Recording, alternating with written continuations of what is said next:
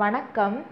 நாம் இப்போது தமிழ் இலக்கணத்தின் மூன்றாவது வகையான பொருள் இலக்கணம் பற்றி பார்க்க போகிறோம். பொருள் இலக்கணம் என்பது வாழ்விற்கு பொருள் தரும் கூறுகளை விளக்கி காட்டுவது. அதாவது நம்முடைய வாழ்க்கைக்கு தேவையான கருத்துக்களை எடுத்து கூறுவது பொருள் இலக்கணம் என்று கூறலாம். அதேபோல் இவ்வாறும் சொல்லலாம். பாடல்களில் வரும் பொருள் எப்படி எல்லாம் இருக்கும் என்று எடுத்து கூறுவது. அதாவது தமிழ் செய்யுள்களில் வரும் பாடல்களில் பொருட்கள் எவ்வாறு வந்துள்ளன? அந்த செய்யுளில் உள்ள பொருள் என்ன என்று எடுத்து கூறுவது பொருள் இலக்கணம் என்றும் சொல்லலாம். இந்த பொருள் இலக்கணமானது இரண்டு வகைப்படும். ஒன்று அகப்பொருள் இரண்டு புறப்பொருள். அகப்பொருள் என்பது ஓர் ஆணுக்கும் ஒரு பெண்ணுக்கும் இடையில் ஏற்படும் காதல் உணர்ச்சியை பற்றி கூறுவது. அகப்பொருள் என்பது ஒரு ஆணுக்கும் பெண்ணுக்கும் இடையில் ஏற்படும் காதல் உணர்ச்சியை பற்றி கூறுவது அகப்பொருள். இந்த அகப்பொருள் பாடல்களில் ஆண் என்பவனை தலைவன் என்றும் பெண்ணை தலைவி என்றும் கூறுவார்கள். அதேபோல் தோழி என்ற ஒரு முக்கிய கதாபாத்திரம் அகப்பொருள் பாடல்களில் இடம்பெற்றிருக்கும். அகப்பொருள் பாடல்களில் எந்த ஆணின் பெயரையோ அல்லது பெண்ணின் பெயரையோ சுட்டி பாடுவதில்லை. அதாவது இயற்பெயரை சுட்டி பாடுவது இல்லை. அகப்பொருள் பாடலில் எந்த பெயரும் இடம்பெற்றிருக்காது. அது ஆணின் பெயராக இருந்தாலும் சரி பெண்ணின் பெயராக இருந்தாலும் சரி அல்லது தோழியின் பெயராக இருந்தாலும் சரி அதில் வந்து குறிப்பிடப்படுவதில்லை. அகப்பொருள் பாடல்கள் பெரும்பாலும் நாடகப்பாங்கில் அமையும். அகப்பொருள் பாடல்கள் நாடகப்பாங்கில் அமையும்.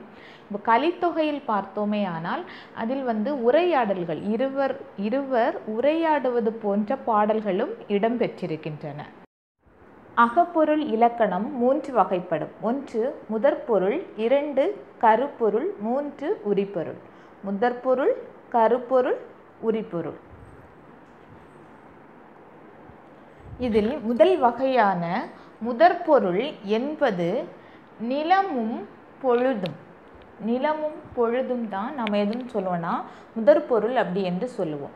இப்போ நிலம் என்றால் இடம் இடப்பகுதி. இப்போ மக்கள் எந்தெந்த இடத்தில் வாழ்கிறார்களோ அந்தந்த இடத்தை வந்து நம்ம வந்து நிலம் அப்படின்னு சொல்லுவோம். பொழுது அப்படி என்றால் அதாவது காலம். பொழுது என்பது காலம் காலத்தை குறிக்கும். இப்போ அகப்பொருளில் அகத்திணைகள் வந்து ஐந்து வரும். இந்த அகத்திணைகள் ஐந்து. அது எது எல்லாம் என்று பார்த்தோமானால் குறிஞ்சி முல்லை மருதம் நெய்தல் பாலை. குறிஞ்சி முல்லை மருதம் நெய்தல் பாலை. குறிஞ்சி என்பது எந்த இடம்? அதாவது எந்த நிலத்தை சார்ந்தது எனில் மலையும் மலை சார்ந்த நிலமும். மலையும் மலை சார்ந்த இடமும். மலைப்பகுதியும் மலைப்பகுதியை சுற்றியுள்ள இடமும் தான் குறிஞ்சி நிலத்தில் வரும். அடுத்ததாக முல்லை. முல்லை என்பது காடும் காடு சார்ந்த இடமும் காட்டுப்பகுதி. மருதம் வயலும் வயல் சார்ந்த இடமும். வயல் பகுதியும் வயல்வெளியை சுற்றியுள்ள பகுதியும் தான் என்னன்னு சொல்லுவோம் மருதம். நெய்தல் கடலும் கடல் சார்ந்த இடம். கடலும் கடலை சுற்றியுள்ள பகுதிகளும் நெய்தல் நிலத்திற்கு வரும். பாலை என்பது மணலும் மணல் சார்ந்த இடம் மணல் பகுதி.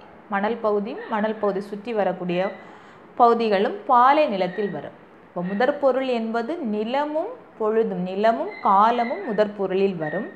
அதில் நிலம் என்பது மலை காடு வயல் கடல் மணல். இதான் வந்து ஐவகை நிலங்கள். இந்த ஐவகை நிலங்கள் வந்து இந்த ஐவகை திணைகளுக்கு வரும். அகத்திணைகள் ஐந்து. அகத்திணைகள் ஐந்து குறிஞ்சி முல்லை மருதம் நெய்தல் பாலை. இந்த அகத்திணைகளுக்கு ஏற்ப இந்த இடப்பகுதிகள் வந்துள்ளன. அப்போ இந்த இடத்தை தான் நாம் என்னவென்று சொல்லுவோம்? நிலம் என்று சொல்லுவோம். இந்த ஐந்திணைகளை அன்பின் ஐந்திணை என்றும் நாம் சொல்லுவோம். அகத்திணைகள் அன்பின் ஐந்திணைகள் என்றும் நாம் சொல்லுவோம். இதில் பொழுது ஆனது இரு வகைப்படும் ஒன்று பெரும் பொழுது இரண்டு சிறு பொழுது. பெரும் பொழுது என்பது அதாவது ஒரு ஆண்டின் அனைத்து காலத்தையும் பிரித்து வருவது.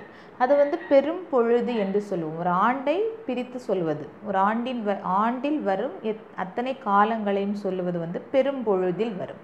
இப்போது அதில் எந்தெந்த காலம் வரும் என்று பார்த்தால் கார்காலம் கூதிர்காலம் முன்பனி காலம் பின்பனி காலம் இளவேனில் முதுவேனில்.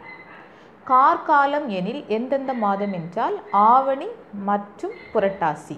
ஆவணி புரட்டாசி கார்காலம் கூதிர்காலம் ஐப்பசி கார்த்திகை முன்பனி மார்கழி தை பின்பனி மாசி பங்குனி மாதங்கள் இளவேனில் என்றால் சித்திரை மற்றும் வைகாசி மாதங்கள் முதுவேனில் ஆனி ஆடி. இவ்வாறு ஒரு ஆண்டு முழுவதையும் ஆறு காலங்களாக பிரித்து சொல்வதனால் இந்த ஆண்டின் காலங்கள் வந்து பெரும் பொழுதில் வருகிறது.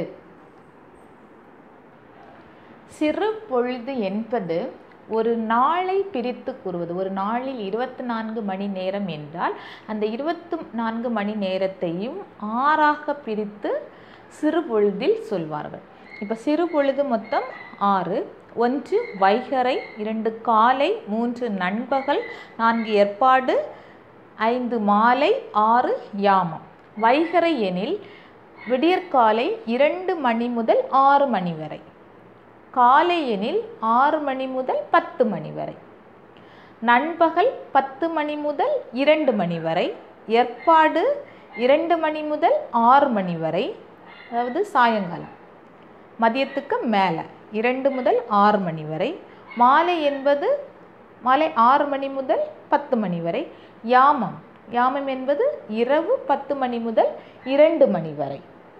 இப்போ இருபத்தி நான்கு மணி நேரத்தையும் நான்கு நான்கு மணி நேரமாக பிரித்து இந்த ஆறு பொழுதுகளாக உருவாக்கியிருப்பது சிறு பொழுது. அப்போ சிறு பொழுது மொத்தம் ஆறு வைகரை காலை நண்பகல் ஏற்பாடு மாலை யாமம். ஒவ்வொன்றையும் நான்கு நான்கு மணி நேரமாக பிரித்துள்ளார்கள். வைகரை என்பது விடியற்காலையில் இரண்டு மணி முதல் ஆறு மணி வரை. காலை என்பது காலையில் ஆறு முதல் பத்து மணி வரை. இந்த மாதிரி ஒவ்வொன்றையும் பிரித்து வைத்துள்ளார்கள். சுருக்கமாக பார்த்தோமானால் பொருள் இலக்கணம் இரண்டு வகைப்படும். ஒன்று அகப்பொருள் இரண்டு புறப்பொருள். அகப்பொருள் மூன்று ஒன்று முதற்பொருள் கரிப்பொருள் கருப்பொருள் உரிப்பொருள். முதற்பொருள் கருப்பொருள் உரிப்பொருள். இந்த முதற்பொருளானது நிலமும் பொழுதும் முதற்பொருள். நிலம் எனில் ஐவகை நிலங்கள் மலை காடு வயல் கடல் மணல். அதாவது மலை ப மலையும் மலை சார்ந்த இடமும் காடும் காடு சார்ந்த இடமும் வயலும் வயல் சார்ந்த இடமும் கடலும் கடல் சார்ந்த இடமும் மணலும் மணல் சார்ந்த இடமும். அதாவது இது குறிஞ்சி நிலத்திற்குரியது இது முல்லை நிலத்திற்குரியது இது மருத நிலத்திற்குரியது கடல் நெய்தல் நிலத்திற்குரியது மணல் பாலை நிலத்திற்கு உரியது. பொழுது இரு பொழுதுகள் பெரும்பொழுது சிறுபொழுது பெரும்பொழுது எனில் ஆறு வகை கார்காலம் கூதிர்காலம் முன்பனி காலம் பின்பனி காலம் இளவேனிற் காலம் முதுவேனிற் காலம். எனில் அதுவும் ஆறு வகைப்படும். ஒன்று வைகரை காலை நண்பகல் ஏற்பாடு மாலை யாமம். அகப்பொருளில் முதற்பொருள் முழுவதும் இப்போது முடிந்துள்ளது. அடுத்த காணொளியில் நாம் கருப்பொருள் மற்றும் உரிபொருள் பற்றி பார்க்கலாம். நன்றி.